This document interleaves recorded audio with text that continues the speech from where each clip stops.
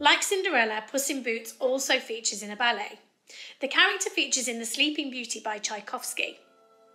Have a listen to the music from the ballet and see if you can find The White Cat and Puss in Boots. You can also watch a performance of it from the Royal Opera House. How does Tchaikovsky make the music sound like the movements of the cat? What instruments can you hear and what are they doing to suggest those movements of the cat?